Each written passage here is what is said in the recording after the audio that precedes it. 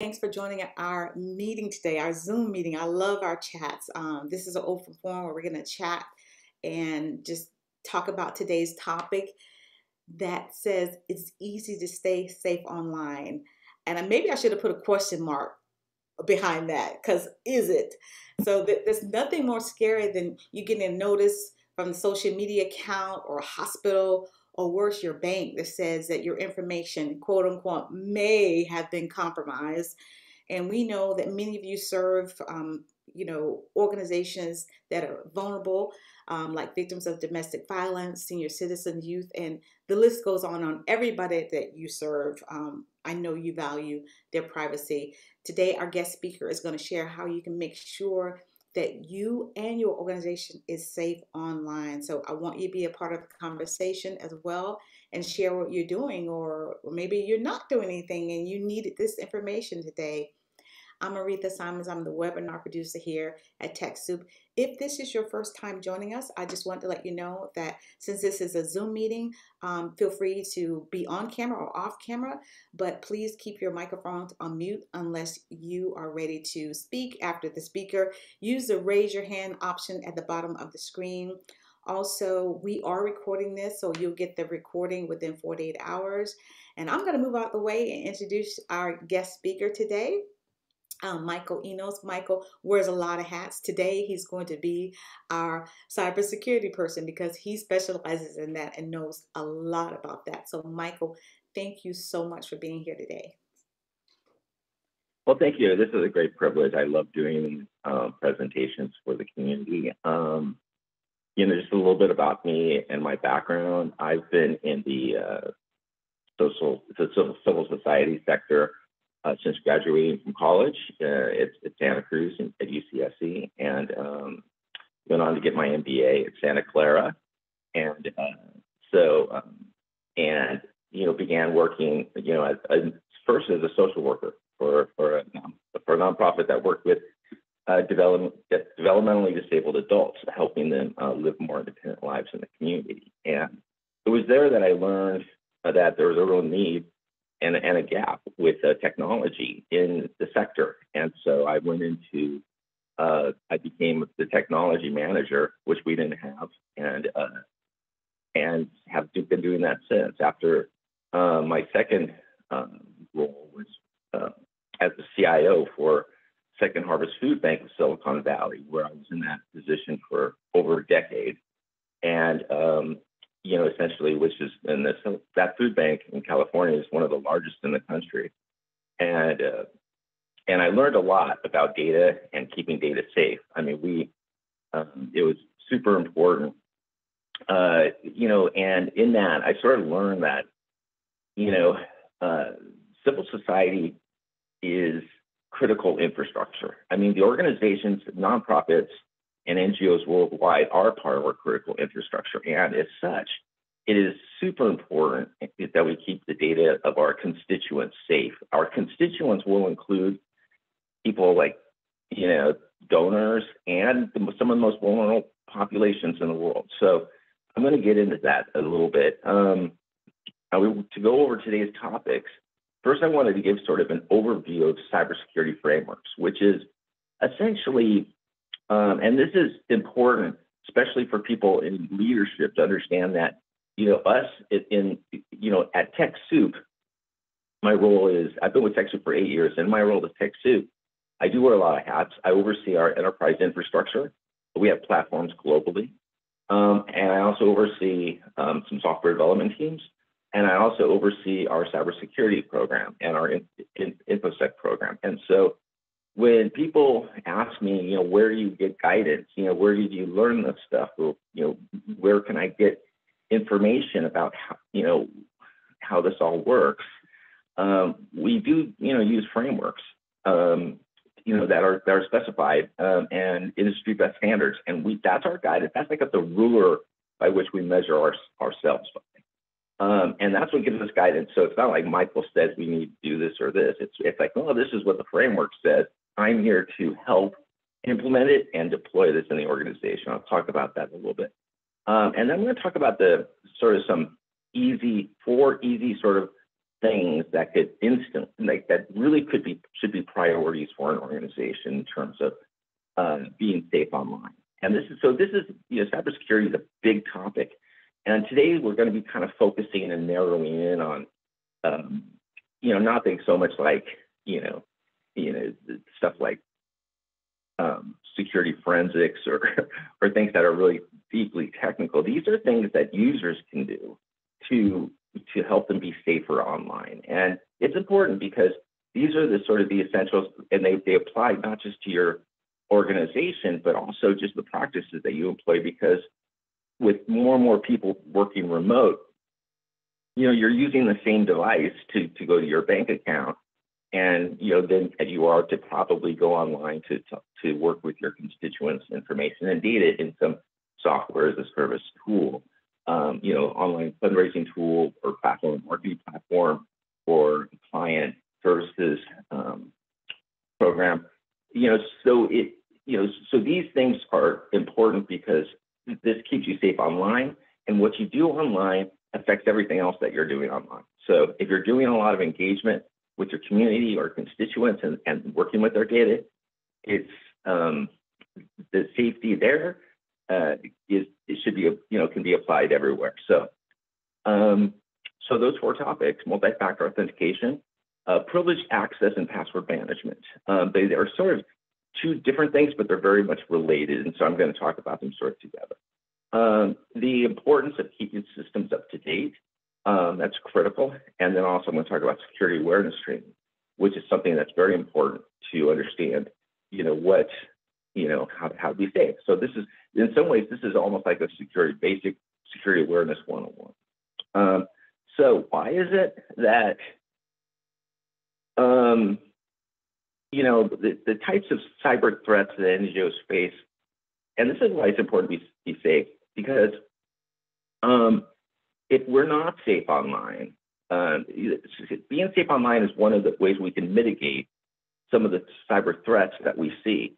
Um, you know, in you know that are you know as as targets, you know, we some of our organizations can potentially be targets uh, for you know somebody who is looking for valuable data if they're looking to um, just you know cause disruption. Um, and and and in some cases it's more it's more serious it's targeted because there's something that they don't like about your organization so um, and the things that can happen as a result of that is, you know, you can not only have a, you know, disruption in, in, you know, your mission, um, but, you know, worse, you could have, you know, a data breach and then have to deal with reputation and other factors. Um, and so these are some of the broad sort of areas that we, you know, oftentimes to talk about. And as I mentioned earlier, you know, it's important that we protect our data and and are safe online because you know we do we're working with financial information, uh, donor data, data, and some of the you know population's vulnerable personal information. So this is why it's critical that we sort of you know kind of keep this as a priority and a focus with an organization, especially as more and more um, activity and cyber. It's easier and easier. So it's easier and easier for people to conduct cyber terrorism. Essentially, the tools are, you know, ubiquitous. Uh, they're they're cheap, and anybody can, you know, go off and want to, you know, uh, hack something in order to uh, turn it into a crypto mining operation, or to try to find if there's some valuable information or data or something that they could then sell, like a username and password or some bank account information. And so there's robots, there's bots that go across the internet and just scan things. And what they're scanning for, um, I'll go into a little bit because that's why it is. That's why it's really important to stay safe online because um, these, you know, it's like it's sort of you don't see them; they're sort of invisible, but they're out there, and we track that stuff at TechSoup. In our hundred platforms uh, that we monitor, we have thousands and thousands I mean, hundreds of thousands of events every single day. People, you know, hit, hitting our stuff, trying to say, hey, is there a crack here? Is there a crack there? Trying to find that weak link that they could then leverage in. Um, and we have at TechSoup, we have very sophisticated tooling Um, but that's a topic for another day. What this is about is really about, you know, staying safe online. So I'm going to jump in. We're going to talk a little bit about, and after each one of these, I'll open it up for questions so that we can, you know, I can answer questions as we go along. There'll be a time at the end, but I want to make sure that as I'm moving through, I don't want to just be talking ahead here. So, you know, it's um, it's important that we have this be a discussion. Um, so, at TechSoup and, and many organizations uh, use a framework called NIST. Um, it's the NIST Cybersecurity Framework. Um, uh, NIST stands for the National Institute of Security um, uh, Standards Technology. And, you know, they put together this framework. And uh, what's important about the framework is it kind of, it provides uh, an organization with a, a basic, you know, co concepts for how to then practice cybersecurity safety, not just you know staying safe online. The folks of this organization of, of this top of this uh, webinar, but also other things like what kind of policies should you have in place? You know, what do you do in case of a security incident? Um, how do you make sure your data is backed up and, and, and stored? What's what's a safe way to do that? And it provides policy um, guidelines. And so we use this, and there's some these these. I'm going to quickly go over these um, five areas because then because what we are going to because each one of the things we're going to talk about in terms of data safety actually are, are connected to, to to these different um, kind of governing principles. Um, and these are things that, like I said, we're not going to go into the details on every single one. Um, but uh, you know, when I do topic, when I do presentations, sometimes I'll just focus on one of these, like data, like resiliency, you know, business resiliency. I talk about more on the, you know, identify and recover aspects of it. And then other times it's, you know, going to be on, on response. Um, but essentially, these basic principles sort of outline a framework by which to think about it. And so um, we're going to provide, you know, there's going to be links to this available. And so, you know, in your spare time, which we all have plenty of, um, it's important, you know, you know, take a look at this and, and think to yourself, where do we have, you know, potential gaps in, in our organization, the way we think about cybersecurity? Um, you know, so for example, maybe you, you know, you have people working with very sensitive data and, and they have you know, like for example, financial information. Um, you know, are you doing background checks, you know, but when they're hired? Um, I'm going to talk, and one of the things I'm going to talk about later is requiring individual user accounts for each employee. That's what I call uh, basically a privilege access management. Um, so, you know, then we have, you know, this, the whole section of this is sort of dedicated to business resiliency, you know, so, you know, how do you essentially protect your systems and ensure that there's data being backed up, that you've tested that the data works that's been backed up. Uh, that's oftentimes something that is a big gotcha. It's like, oh, we thought we were backing up our systems, and um, and but nobody really checked. Um, and part of this is, um, and then the other thing is, you know, which is very important. Number four is something we, you know, kind of really try to impress upon our community to you know, think about is the last thing you want to be doing if a security incident happens is to then have to come up like, what do I do? You know, how do I how do I respond to this? How do I respond to my community? How do I get the right people in the room to, to talk? And and also and then how do I communicate this, you know, you know, to the public? Is this going to be a, you know, a marketing nightmare? And so, you know, what's important to have a plan in place and also just to remember that transparency is always going to be your friend when it comes to this. There's one of the mistakes that some organizations do is they try to push something underneath the rug if there's been a cybersecurity incident. And that's the exact opposite of what you do. You should be fully transparent because that will help ensure that your trust maintains with your community. They'll say, well, it's not, you know, this happens to everybody. And so it's how you respond. And you kind of know that in the sector because it's you know, there's, you know, things happen in the world and we have to be realistic about them and professional about them and maintain that sort of accountability. And oftentimes, organiz- you know, civil society organizations are have to be more accountable than even private sector organizations. You know, we have to submit our financial information to IRS. Um, and if there's a data breach, it's very important that we let our constituents know and, and also see the effect of what that is.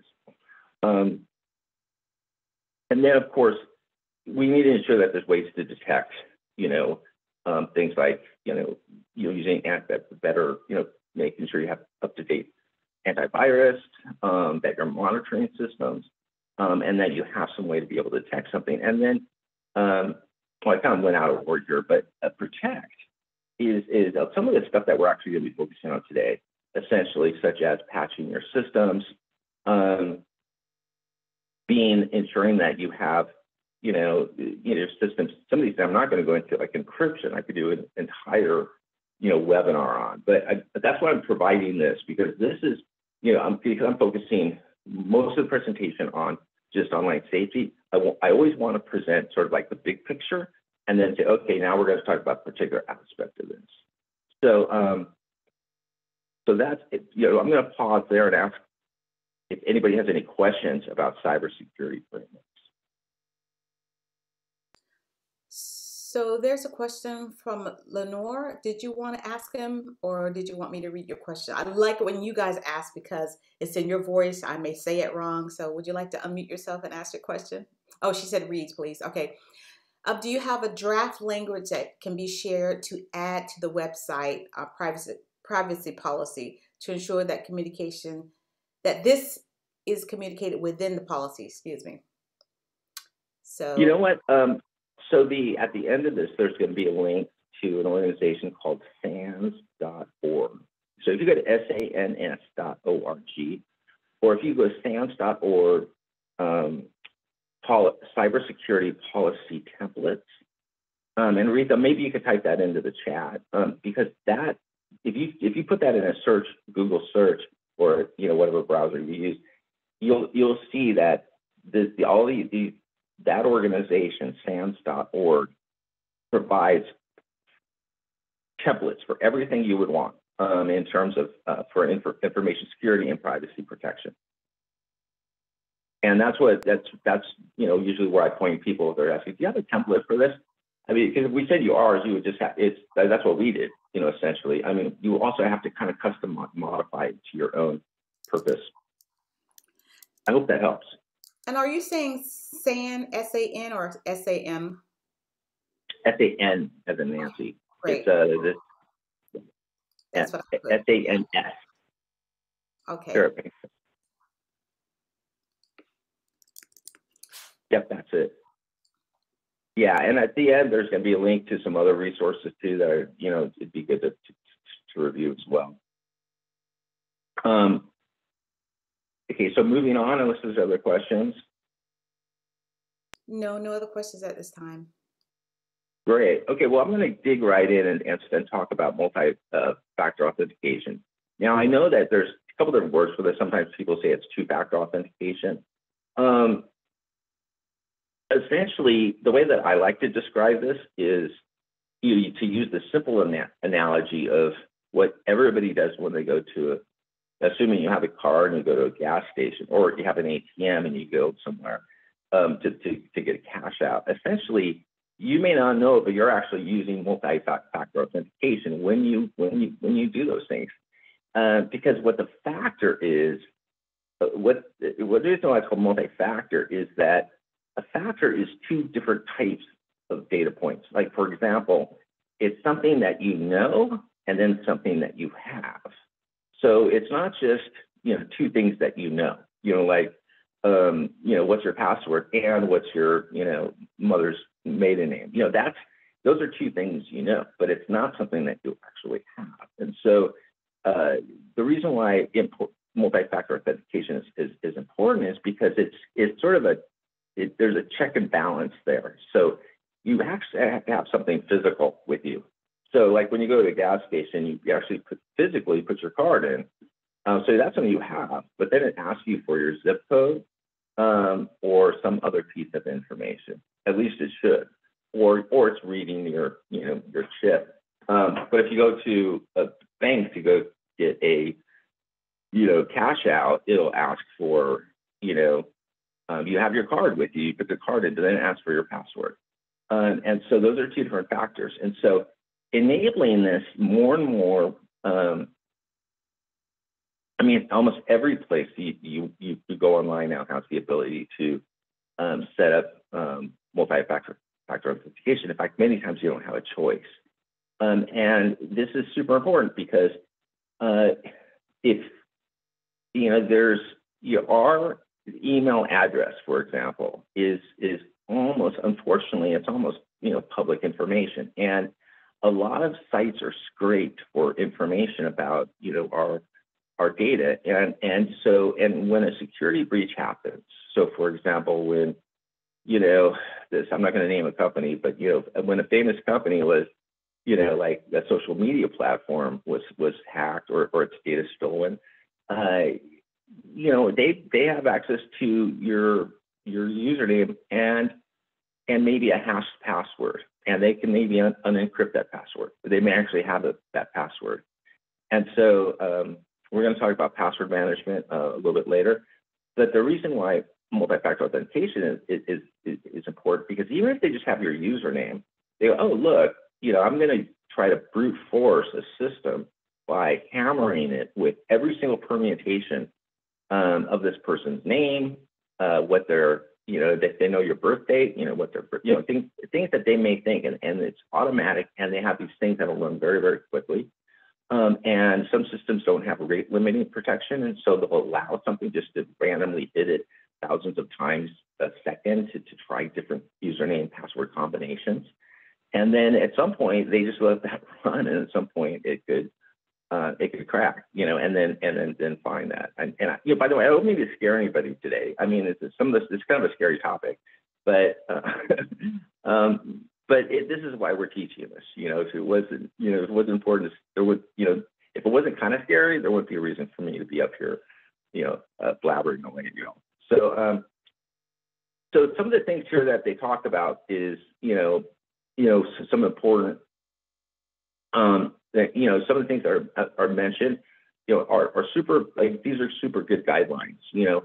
Um, the, you know, a, you know, one of the, you know, there's different ways that we could use um, multi-factor authentication. Oftentimes it's with your phone, which is good with an SMS text. You know, so you get a text and then you you type in a code on your. I think we've all done that right now. Um, but there's also a bit more sophisticated ways, such as using an authenticator app, which you know Google makes one, uh, Microsoft makes one, um, and there's other versions. But the authenticator app is a little bit better because it's not going over the you know, and the way that works is that it's it randomly generates codes, and and what you do is you go to you open up your authenticator app and you type in that code that's on the app, and the reason why that's a little bit better than just using your phone is because SMS is still wireless technology and it's still being transmitted. And there's uh, some people have been starting to figure out ways to sort of hack those systems that then actually you know, generate those SMS text messages. And if they can do that, then they can get hold of the codes that are being generated and sent to you. Um, whereas with the authenticator apps, those are randomly generated. Um, and they they they match the certain types of codes that that are used by the software program, um, and then they're updated not not at, not in real time, but they're updated in some frequency. Um, no, uh, the authenticator apps are free, so you can if you go to uh, Google Play now, not not all systems support it, but but for example, if you use uh, Google G Suite for your organization uh, or if you use uh, Microsoft M365. Um, it, besides, you know, when you set up the security and MFA in both of those systems, then you could essentially have the option to use an authenticator app instead. And it's oftentimes what they do is they have a QR code. You, you point your phone to the QR code that um, that's provided by you know Google or Microsoft, and then it, it says, okay, and now you're you're connected. Your authenticator app is connected to us um, it's really pretty easy, you know, setup. So it doesn't cost anything. Um, good question though. Um, so, and the other thing is that if you have, uh, we use is the people at TechSoup who are in, um, you know, who have access to privileged systems use something called a YubiKey. Um, and I'm going to show what this is. Um, I don't know if you've seen these. People have these things. Uh, try to get in focus here. There we go. And this is this is a hardware device, and this plugs into my USB port. And so what happens is, is that when I'm using certain systems that allow for this, at some point it'll prompt me. And it'll say, um, you know, insert your insert your security key. And I just touch this, and it says, oh, you know that, because this key is registered. There's special information on this key that's registered with that software company. This is the, pretty much the safest way, you know, to do things. But and these are we don't have a unfortunately we don't have a program with TechSoup yet that that offers, but they're not that much. This is maybe a thirty dollar device. Um, maybe they, they range, but you know, you get them like from thirty to sixty dollar, you know, these these keys. Um, and so these are that's you know the other thing is oftentimes your phone will have a you know biometric thing, will, you know face recognition, and that that works you know as well. Um, so basically, if you if your key gets uh, um, if it gets replaced, how can the information be accessed? Um, so if it gets misplaced. You know what, what's interesting is that um, you can generally have a backdoor with, you know, um, other than the you'll probably have something called, you know, something like backup codes in order to access the system and then be able to reset it on um, For us, who are managing you know, these worldwide platforms, we, we have to have that. There's two blocks available. There's a UB, uh, Y-U-B-I. Um, thank you for that. You know, when I had moved my phone, is that probably better with the audio? Apologies. Thank you. Um, I do want to mention the closed caption is on. So yeah, thank you guys for mentioning that. If, if um if you can't hear him or or the closed caption is on, just type on the CC at the bottom of your screen. So go ahead, Mike. I'm sorry. Okay, no worries. Okay, so um all right. Uh, so moving on. Any any other questions about multi-factor uh, authentication?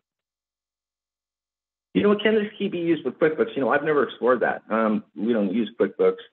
Um, but that's a good question. And I imagine that if you uh, look into uh, Intuit's website, I, I would I would imagine so, but I, I can't speak to that. Uh, I'm sorry.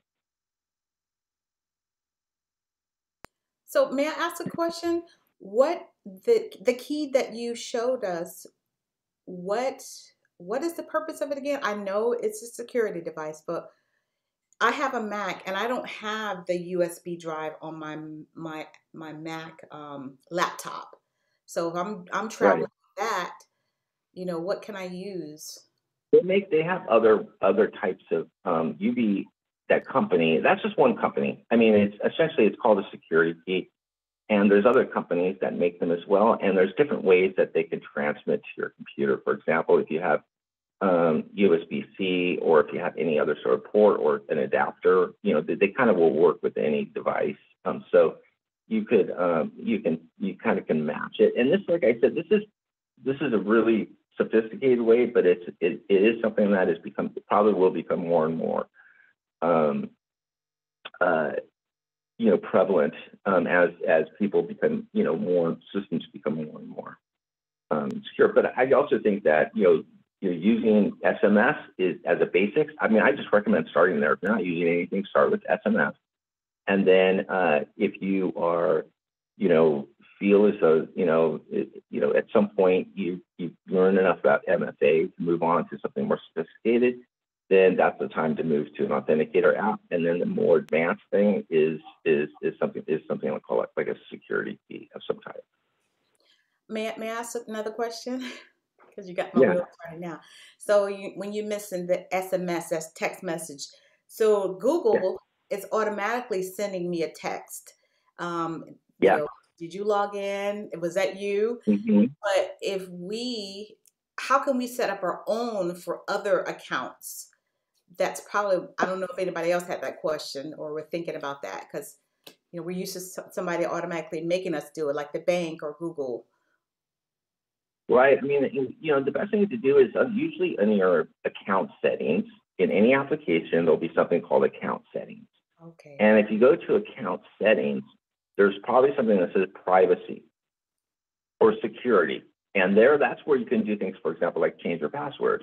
But also, there's, you know, that's how you can check to see if they also enable um, MFA. And it'll say, you know, uh, would you like to enable? Then, if you enable MFA, those apps will um, then, you know, kind of walk you through the process online in terms of how do you want to do it, what option do you have, and depending on the the you know sophistication of that particular application will depend on whether or not they allow you use, use just, just MS, SMS or whether or not they also allow you to use authenticator apps or even better uh, if they allow you to use security.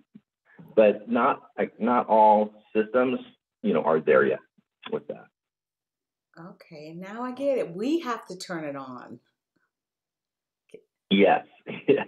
I mean, unless some companies, some companies mandate it, you know, and like, you know, I mean, some companies are saying, you know, no, you need to do it, and and you know, that's more and more becoming prevalent. We at TechSoup, we we we you know have our our staff have to do it. They don't have a choice in terms of their um, M365 accounts. Um, so I'm going to move on in the interest of time. Um, password management. Um, oh, look at that. Okay, great. Thanks, Michelle. So password management, this is, you know, this is pretty, you know, basic stuff, but it's really actually one of the most important things because um, we're still using passwords in today's world. Uh, they haven't figured out a way around that yet. I mean, I, one day maybe they'll uh, they'll figure out how to make you know a passwordless world.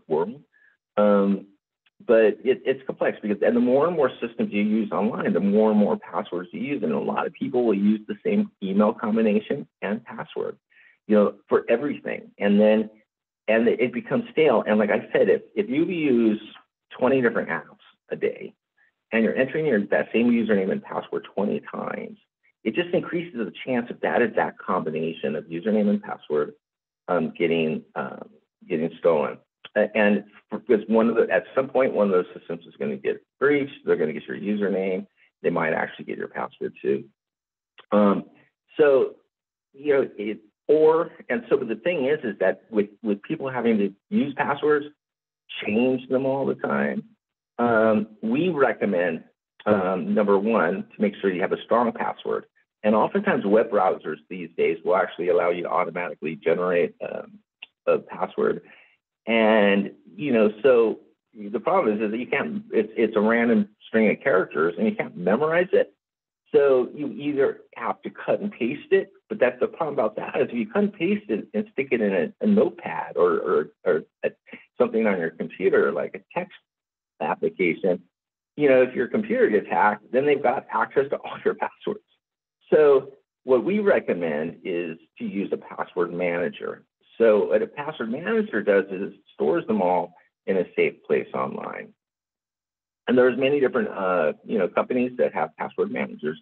Um, we we don't, you know, we think people should, you know, find the one that fits with them, and, and we don't really in these webinars to endorse particular uh, companies. This is about education, and so, you know, it's um, what what is important though is is to employ the practice of using a password manager and also using strong, uh, detailed passwords. If you have to make one up, you know, yourself and not use, you know, a randomly generated string of characters, um, then make sure it's complex, that it combines, uh, you know, characters, you know, special characters, numbers, words, letters, and um, and you can be in, inventive, just a way to create a mnemonic about how to memorize that, so you don't have to write it down. Um, the, the worst case scenario is that you know you write it down on a sticky note and put it on your computer. that defeats the whole purpose. Anybody walking by your computer can see, can see that sticky pad and um, and and then break in. Um, and so it's you know these are the these are some you know some basic things, but they're super important. And then refreshing your password at a minimum every three months. Um, and so that's why it's you know really hard. The password managers make it a lot more easy in today's modern world to manage these things. So you know you look at password manager, um, they're all like you can look at the reviews. They're all pretty. They wouldn't be in business if they weren't good. I mean that's their job, right? So um, is uh, is to do that. So uh, anyway, so you know that's where you know it's important about um, as I mentioned, you know the you know what we see, and there's websites that you can go to and actually look to see if your uh, password has been breached. If you and I think Google actually provides that now as a service, and some other companies provide that as a service. Uh, and uh, You've Been Pawned is one of them, um, and uh, and it's a database. People create databases and then they sell these this information on the dark web. Um, and then they uh, and then they people get access. It's public information when when, when this this stuff is breached. And so uh, it's it's like I said, it's kind of scary, but it's important to know these things so that you could then you know understand why we you know why we you know want to educate our community on on these sorts of practices. So any questions about password management? I have a question. If no one else has a question, yeah. Uh, oh, go please. Yes, please. Yes, I have. Um, I see you have popular password managers examples. Uh, can you select that so we can see what those examples are of the uh, popular password managers? You know what? This this I'm sorry. This this this will be provided. This this this uh, will be provided here, and um, so, uh, you know, there, you know, I could just say that there's like, you know, if you type them in, um, yeah, thank you. If, you know, community wants to share those, that, that'd be great. Um, just because we're, um, oh, yes, thank you. And, and actually somebody put in the have, have, Have I Been Pwned website that that's what I was referring to, to earlier. I love these discussions because I like when people mm-hmm. actually share and add to my dialogue. So, um, so this is great. Um, what are the chances of a password manager getting hacked? It seems like it would be something that would be about. I tell you, the people who manage these these passwords, uh, they are have very interesting ways that they protect their cybersecurity. Um, and they, for example, will have um, multi-layered sort of approaches to their systems. They, you know, because it's their business, it's the focus of their business, and so uh, they spend more time and money on on ensuring. You know, everything's about time and money, and so if that's your business, uh, you know that then and they are a target, and they know they're a target, and so as a result, they're they have huge uh, security operations teams that do nothing all day long but to see who's who's knocking on their door. And they and and they have multiple safeguards in place. Uh, you know they, they ensure that any data that's there is seen only by the people and can only be seen by the people who have special access to that to that data. Like nobody inside their company has access to that information. So if if nobody inside that company has access to that to your information and your data, then there's you know the only person who could get it is you. You're the one who you know could only compromise the data that would be necessary to then get into that password manager. Hope that makes sense.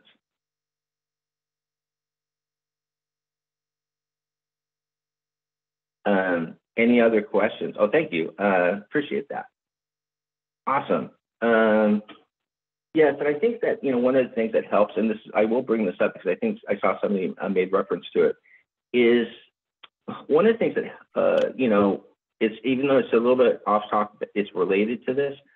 Is when you're in a public setting like you know at the coffee shop um, and you're using public Wi-Fi, it's you know one of the things about using public Wi-Fi is that it's great, it's free. Um, however, you're sharing the network with with strangers, and and it's not a it's not necessarily a secure network, or you can't you can't you know you don't know what the efficacy is of that.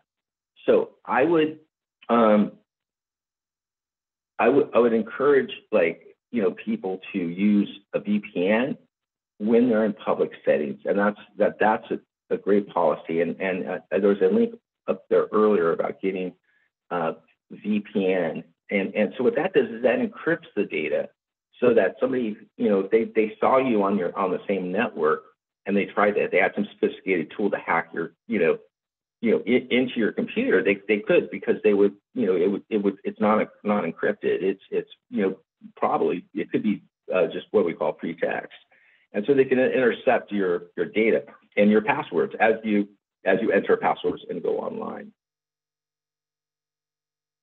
Um, does TechSoup offer VPN service?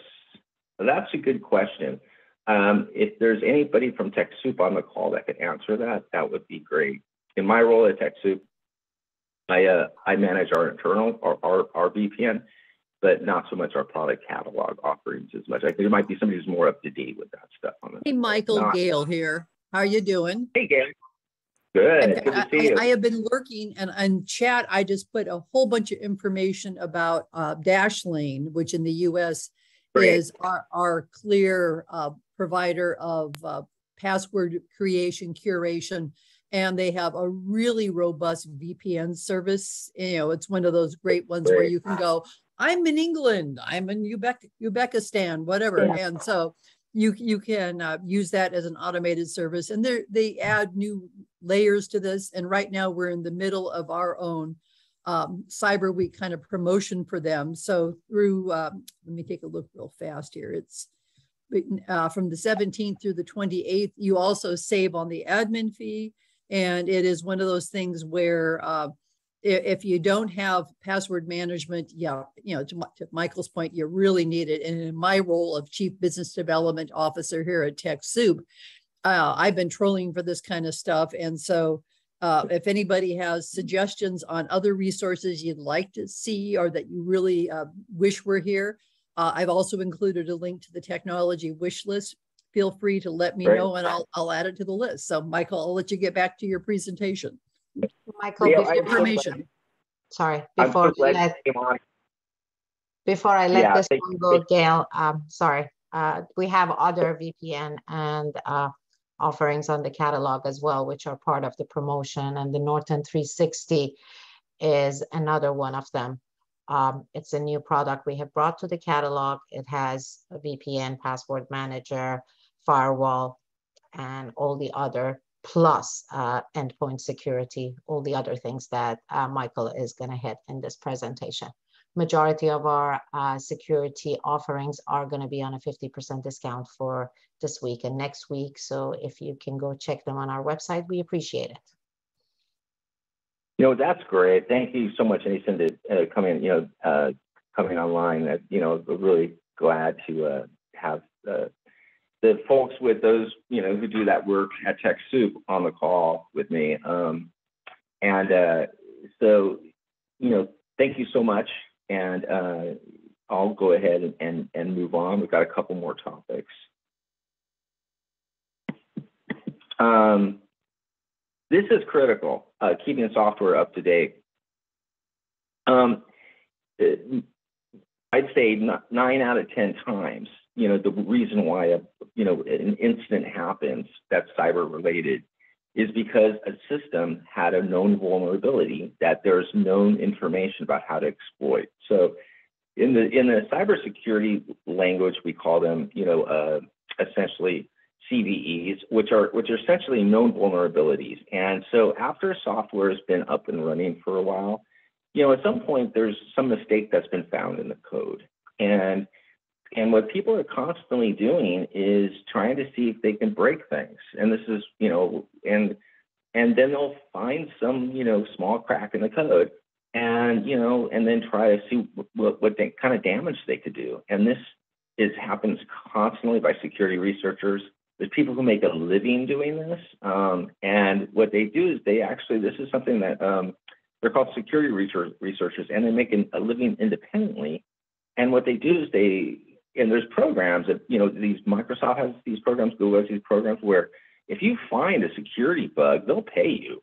you know, so it's it's it's big business. Um, and and this is how people, uh, you know, find it. And then they find because it, it helps then it's kind of like outsourcing their their application security, you know, to the community. And so there's white hackers. We call them white hackers, And what they do is they constantly look for, you know, you know, you know, mistakes that have been made, not mistakes that have code, but things that have um, happened. And so that's why we get these, that's why Microsoft has Patch Tuesday that happens, um, you know, because, you know, you know, they still have, you know, downloaded software and, and so, you know, like their Windows operating system and such, not everything's in the cloud.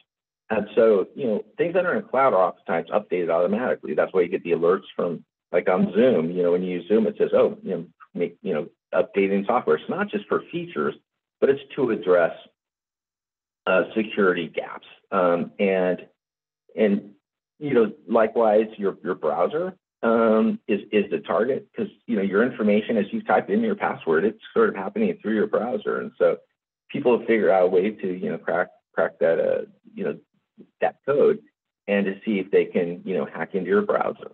Um, and and then see what kind of what we call cache, meaning stored information is in your in your in your browser's uh, system memory, and people are trying to get access to that because that will contain your passwords. And so keeping your systems up to date is critical. And um, so when you get reminders to update your systems, um, it's important to, to, take the time to update the systems. And if you have a company that has um, you know systems that are you know, need manual updating, then your organization should have a policy to, you know, and security patching policy. Um, as as everybody from TechSoup knows, uh, we, you know, have I think monthly, you know, we have every single month we do patching on our systems, and so we have a patching process we follow, and where we go to our different environments and our different systems, and then we send alerts out to the staff saying, look, you know, was, you know, the, you know, we're going to have the system's going to be down for a few hours as we go through this very, very important security patching.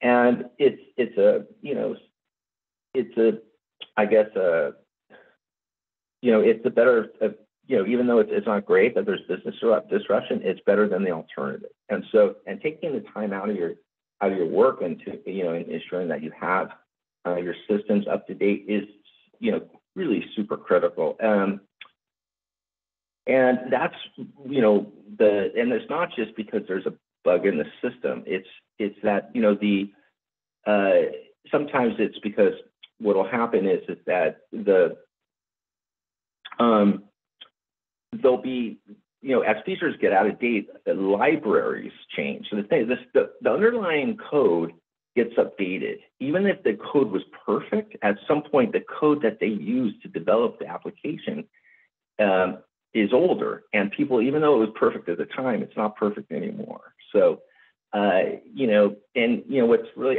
thank you Anisan for pointing this out but using a patch management tool can really help in this process because what it can do is it can collect the assets of an organization. So at TechSoup what we do is we have a um, a patch management system. It's sort of an enterprise level one and it goes and it does it collects all the inventory of all our systems and says hey these systems are out of date um, and you know, and and you know, because we're a large you know enterprise company, we have some very sophisticated tooling, but there's stuff that's you know at for every different size organization, there's, there's patch management uh, tools that can be used. What's great about them is that it does the work of finding out on your network what things are out of date, and then you could, if you have a, if it's an enterprise type of tool, you could you could update everything at one time. All everybody, you don't have to tell, call people up on the phone or you send an email saying, "Look, will you update your system? It's out of date." It happens automatically, and so um, we we run that on our on our on our you know client machines. They're it, it, you know their uh, antivirus gets updated, um, and we ensure that, and we do an inventory to make sure that's happening. So in the interest of time, we got one more topic, um, and so I want to move on and then we'll have some questions at the end.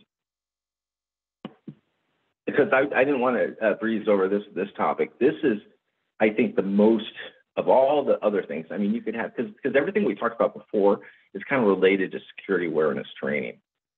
Um, but this is, it, you know, this is often when we talk about security awareness training. Oftentimes, what it is is essentially being able to recognize if there's a uh, you know, if you, in an email that there's some sort of uh, something if you get a suspicious email, there's going to be a link in it, and if you click on that link, it's actually going to do something actionable. It's like you've acted on something, and that could then create a whole cascading effect of harm to your systems, to your organization systems.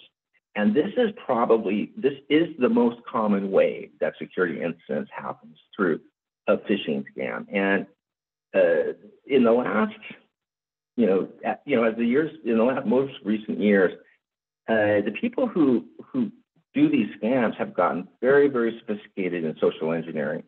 And they've created some very interesting techniques that are, you know, where they go to your, your company's LinkedIn profile and they'll scrape the data, you know, from that and find out who your uh, executive director is, your CFO, or your, uh, you know, um, human resources director, and they'll what they'll impersonate them in an email.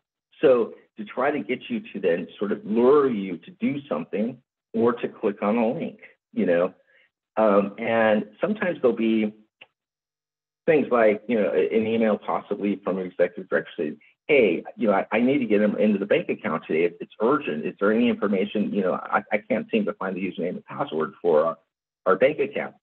And and people, you know, kind of just, you know, in their day-to-day stuff, you know, kind of just see it. They see the email, they see, oh my gosh, you know, this is the, the boss. I gotta like act on this right away. And then they and then the second they do that, it's too late. You know, it's like you know, you can't really go and undo that except go and say, oh gosh, I better go change the password. Um, so, um, oh, somebody's got a question um, about our new church is in the process of building a new website address. This, this is, this is sort of, I don't think we're going to have time to, for me to discuss that in depth because I'd like to understand first. But I think TechSoup has some resources available to, to help with this. So if you can send us a, you know, an email or something or contact us somehow and maybe um, Aretha, you could you could reach out to this organization because we do have some blogs and some other things available to talk about this. Um, and I think that might be some good, um, provide some good information there. So, um, you know, in terms of security awareness training, there's certain tools that are available. Um, and uh, th- that we offer at TechSoup to be able to go in and actually, you know, provide uh, security awareness, awareness training. There's quick videos, videos that provide this. Um, most organizations now have mandatory security awareness training that happens when they're onboarded, so that um, we, you know, you actually know that employee understands, you know, how this how this works, so that um, you know they aren't, you know, duped into a tricky message or or a, a, fake message. But you know, just the basics of it is that you know, if just because it says it's from you know somebody important or for some a company like PayPal, by looking at the actual email address itself, it if it doesn't say you know PayPal.com, if it says something like PayPal you know management.com or PayPal bankinginformation.com then that does it's not PayPal. it's most likely not PayPal. And if you question it, then don't don't do it. You know, if you if you get you know, I mean, the best thing is to is to be to, to warn on the safe side, and then and then try to you know essentially send it to somebody in your IT department and say, look, I think there's been you know, uh, I think I, I received this phishing email. Can you verify that it, it's it's if it's a real email or not? Always ask somebody in your organization who could validate it, or the person who you think is sending you the message. You know, if you think that, you know, if you get something from PayPal or something, don't just click on the link. Go to go to the actual application and you know go to the website and then look to see if there's a notification there. That way you know whether or not because if they're sending you an email, there's going to be information on your on your account online about whatever they're sending information about. You know, so you know, but don't click on the link if it's from, you know, something like a financial institution. Um, and so the, anyway, so I want to leave a little bit of time. So are there any um, questions that, that we, we can we can discuss regarding the, the presentation today? And you guys have been a great audience. Uh, really appreciate the, the participation, the discussion, and, and the helpful links and, and the sharing of ideas in the in the chat. That's super. This is why we love to do these things. Yeah, feel free to unmute yourself, Michael. This was excellent, excellent. Um, feel free to unmute yourself to ask Michael a question directly. I see your um, your hand is raised, or there's something. Is it Jen? I can't pronounce your name. I'm sorry. Go ahead and unmute yourself. She's doing it from her phone, so she's trying to unmute her phone. While she's doing that, anybody else have a question? Um, no, this is Mariela. Just wanted to say thank you very much for all the information. I grabbed very good pointers and ideas to implement. I am in Connecticut and I'll be um, contacting TechSoup very soon. Thank you very much for all the info.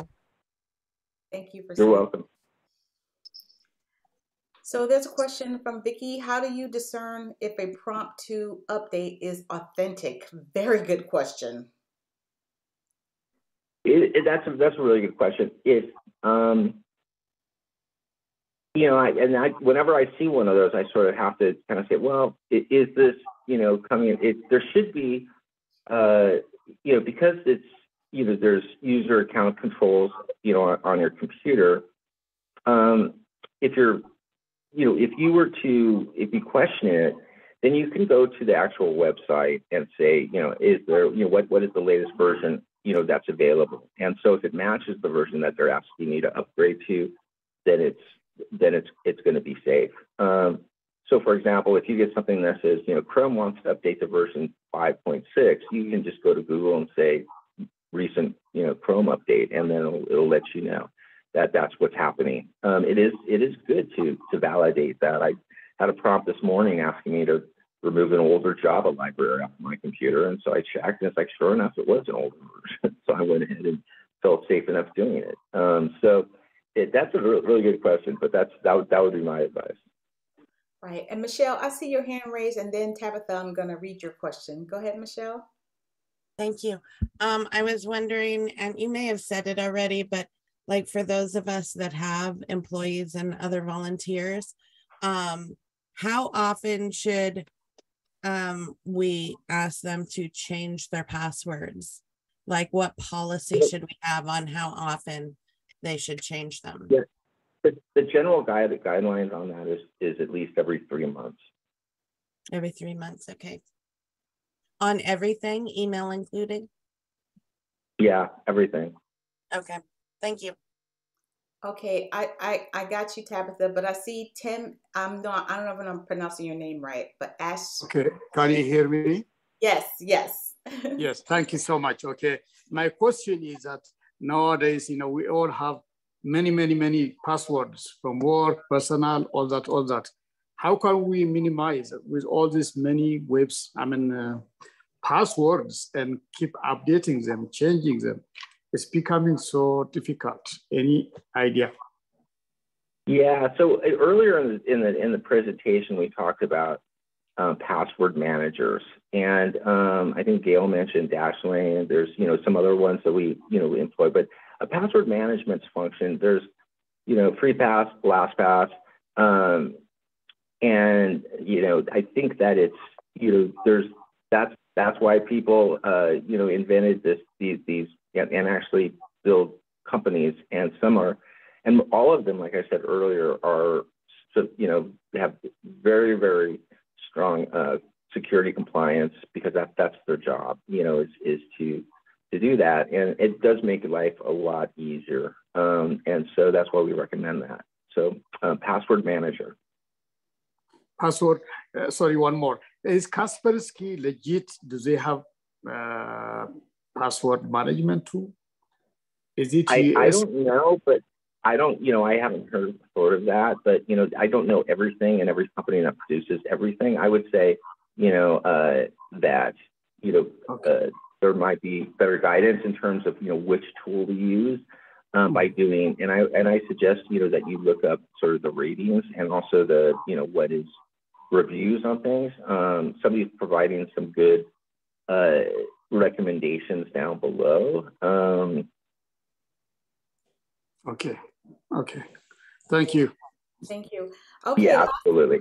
Last question from Tabitha. She said, Do you have any advice for a small um, operation, a two person operation, on keeping up with all of this, maybe in order of importance for what you discuss? I don't know how you're going to do this, Michael, but you got it. You know, the, you know, the, I think that you know, with there's, I think there's a blog, blog, blog article that's coming out at TechSoup um, that I just wrote um, that actually is like something that has four, some, four simple ways to keep your organization safe. Um, and I go through some basic points. And so keep an eye out for that blog article because I think that it does sort of try to prioritize things um, in terms of the things that an organization should focus on. I mean, and you know, and, and that's distilled down to um, you know the, the the essentials, so to speak. And so um, That's super.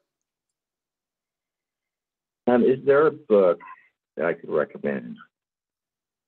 You know, because of the um, you know the you know the, this stuff changes so quickly. Um, at the at the end of uh, you know, I think that uh, one thing that would be good to do is to um, go to NIST and NIST, it- it- which is that reference that I did earlier, that uh, NIST, and there's you know there's it, the information is in this um, uh, in this in this presentation. NIST will yeah thank you. NIST will have essentially recommendations around you know you know and, and it's, it's it's really pretty straightforward. It's not complicated. Uh, it's it's in good you know easy language, and so it's it's it's sort of you know you don't have to be technical. I guess is what I'm trying to say in order to understand it. So for a small organization that may not have technical staff, at least you know it, it kind of breaks it down in some very easy ways, and it's and they keep that up to date. And so um, I would recommend online resources over you know a book on cybersecurity because it changes so often. A book was written six months ago might be out of date. Yeah. Well, thank you again, Michael.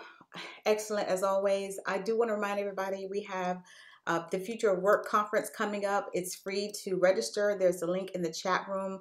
Thank you for your questions. I learned a lot from you. And everybody, as you're taking care of everybody else, please make sure you stay safe and take care of yourself. Bye bye, everybody.